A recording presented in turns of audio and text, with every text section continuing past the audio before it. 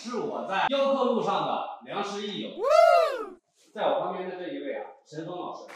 大家好，陈峰老师啊，可是在神第一届的神工奖，那个时候还是零七年，是吧？对，零七年的第一届神工奖，金银铜三连啊得主，非常的厉害啊。过去式的，当不提当年勇呢。最近有没有好的作品出来？嗯，做了一些吧，做了一些他们做了一点点。拿出来给我们欣赏一下。这种小小产品怎么样？哎，这个不错啊，我还没注意到。有没有注意啊？哎，这个是宝宝佛啊，是啊，是那些剩下的那些边角料吗？边角料。啊，哎呀，这是非洲的，一看是非洲来的，这是非洲来的，这个有意思啊，四个坐的啊，四个打麻将，两个在看着吧。四个打麻将的，这两个是在观望观望，Nice. 有点意思，有点意思。没有没有，这个估计是要做一套的做一套，哦，想做九件不同的那种，有躺的那种，做的不同形状的那些。还有躺着的，有坐着的，对啊，有睡着的，每一个姿态都不一样。对啊黑黑的，像不像非洲宝宝？这些边角料吧，丢也是丢的，只能把它做一下。我还是喜欢这个，有点意思啊。来，申峰老师去拿一些最近做的作品，我们来看一看啊。来，把它，啊，欣赏欣赏。没什么好作品，就是说那些出的一些，我们来看一下。哇塞，出了这么多的画。看一下你自己看一下能不能哇，别动，这一件，我们来看一下，哇塞，太漂亮了。这个料子我非常的喜欢啊，我们看到没有？它这个位置的兰花，像水墨画一样铺开的，特别的自然。过灯我们看一下，它不是说很死的那一种啊，它整个花色就是不一样的，像水墨画一样。最主要的是这个位置，看到没有？这两只小仙鹤啊，头部这个位置，还有翅膀这里都是镂空雕的。它是恰好利用这个黄翡，在这个边缘的部位把这个色把它调出来了，而且是准，非常的好看。下边这个部位啊，就是我们看到这个兰这个兰花的位置，它是整个雕的一棵苍老的松树。其实寓意呢，其实也有松鹤延年的寓意，但是呢，最主要它是这个位置。为什么这个位置没有做呢？其实我想，陈峰老师更想体现的是这个意境，看到没有？这个位置刻意的去留白。这个位置啊，有个伯牙悬琴。其实整体的效果呢，它是一幅山水画，更想突出的应该是伯牙与子期、高山流水遇知音的一个信仰。看到没有？非常的好。哇，这个料子也不细啊，非常的有特色，太棒了！这批这批货只剩下这一件了，一批留一件嘛。啊，其实这老翠友都知道啊，这批料子呢全部都卖掉了，只留了现在只留下这一件。我觉得这一件啊，可以留个做个纪念。对呀、毕竟啊，你像这种料子，我们在这个行业里面买了这么多，这种也是非常少见的少见，啊。像国画一样那种水墨画，水墨画那种，啊哇，我就喜欢它这个兰花，它是不规则的，而且是像铺泼上去的那个感觉，特别漂亮很灵活。啊。我觉得这个可以可以留着。嗯，不一定这个不一定要卖，这个要遇到有缘的人才行 对呀、啊。哎，这一件啊，这一件也非常不错啊。这一件雕的是赵子龙吧？赵子龙嗯，哇，旗开得胜，旗开得胜，看到没有？这个红翡的位置啊，是把这个旗展开了，旗上面这个位置是利用它这个天然的这个红翡来雕的一匹马和赵子龙骑在上面。赵子龙应该是常胜将军。常胜将军啊，这个寓意特别好，而且呢，它这个牌子的这个造型，大家可能没有留意到啊，它是一个盾牌的造型，像一个令牌一样，看到没有？它背面这里是一个呃深浮雕，而且这边呢做了一只草龙，这里一个立，它这个牌型就是一个令牌的造型，跟整件的一个作品能融合到一起，就是赵子龙拿着令牌那个迎战哈，对，那个效果特别的棒。你看到没有？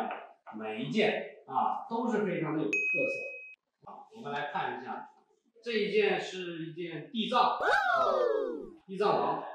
然后呢，利用这个雾层啊，小雕的这个兽的这个背部，是吧？对。你看这个兽啊，每个都不一样。这是龙，这个应该是蛇哈。蛇蛇的化身，那个魔鬼的化身。魔鬼的化身。嗯。而且我们可以看到它下面踩的这个位置啊，有一些骷髅头，特别的立体啊，每一个角度啊，它的呃感觉都是不一样的，非常的好看。看一下背面。哇塞，背面这个线条揉的特别的流畅啊！小摆件，哎，底座怎么还没有配啊？没有，细工还没做完。还没做完？还早还还挺不错的啊，这一件。海底青的料子啊，我们先来看这一件。这一件呢，雕的是关二爷。对。啊，非常的霸气。其实最主要的。其实我们可以看到，它想体现的这个色啊，这个位置这个颜色摘的是干干净净的，非常的好看。这个造型我也很喜欢，啊，料子也够厚，料子够厚，而且这个牌型特别漂亮，特别端庄，就是特别像一个威严的这个，就是一个威严的关二爷坐在这里，下边还踩着这个是，呃，书简，书简，啊，书啊那些。你看这个胚型打的，它的盔甲，啊，它的这个披风非常的硬朗，非常硬朗，所以说整件货看起来就是非常的霸气，它不是没有那种呃软绵绵的感觉，它是非常硬朗的一个效果。还有它这这一条色带，完全的利用起来，而且后面呢看到没有，还雕了一只一条龙，啊，是龙，是龙，嗯。而且把这个颜色利用到一个最佳的一个效果。陈峰老师啊，就是非常擅长于跳色小雕。我刚入行的时候啊，陈峰老师是我一个膜拜的一个偶像。但是近些年啊，非常的低调，所以说研究出来的这些作品每一件，呃，都是孤品。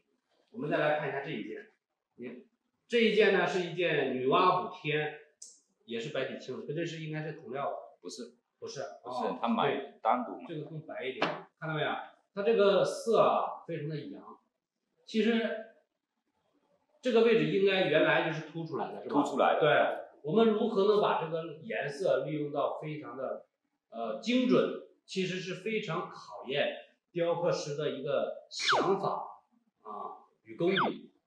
可以看到啊，这个女娲非常的飘逸，看到没有？非常的飘逸，上面。呃，估计是刚修好光嘛，还有修好，是吧？嗯，今天早上才修。嗯，而且上面这个这个位置的颜色特别阳，特别正。如果取掉了，其实它的价值就没了。如果说留在这上面，锦上添花。因为每一件啊，其实我让我看来都是非常的有特色，而且呢，呃，有想法，有创意。峰哥，是不是要带我们参观一下工厂？可以啊，带你们看一下我这几天准备做的。一两件东西，他们有的在弄呢。我进去工厂看一看。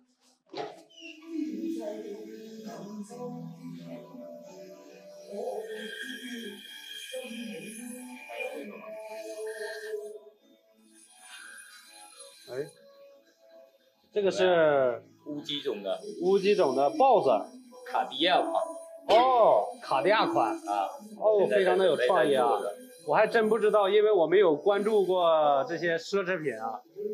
卡地亚款。峰哥说这个是卡地亚款，啊，有没有知道的？赶紧在评论区聊起来。这个也。哦，在这里，在这里，在这里，看一下啊，是这一个款。对。啊。这种款式。一件还是都很有创意。哎，这一件。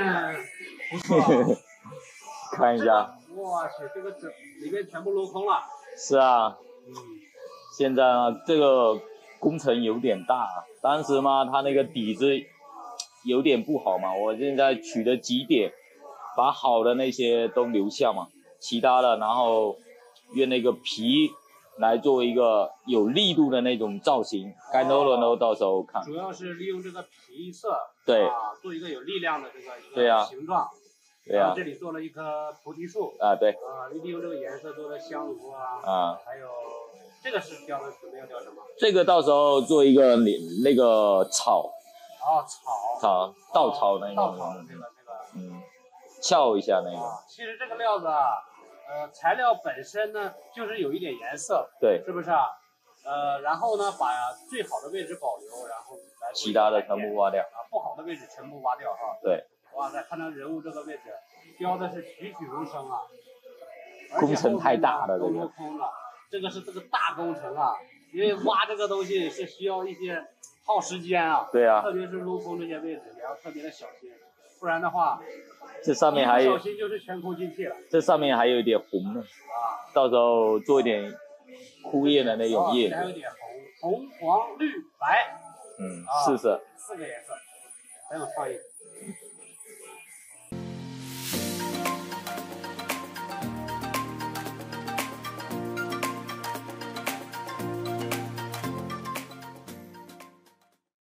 刚刚呢，我们看看了这么多精美的挂件啊，也参观了陈峰老师的工厂。因为时间的原因呢，我们不能把每一件作品，呃，给大家做一个细节的展示。如果想了解的，记得私信我，因为陈峰老师呢会每周六做客我们的直播间，跟大家交流探讨。